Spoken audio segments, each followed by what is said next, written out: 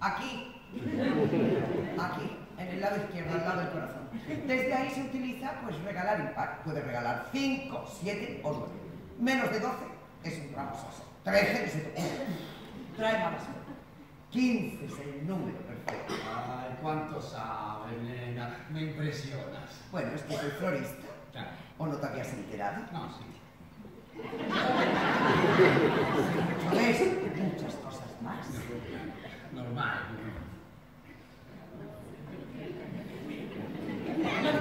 Dime. Si tuvieras que regalar un ramo, ¿qué flores elegirías de aquí?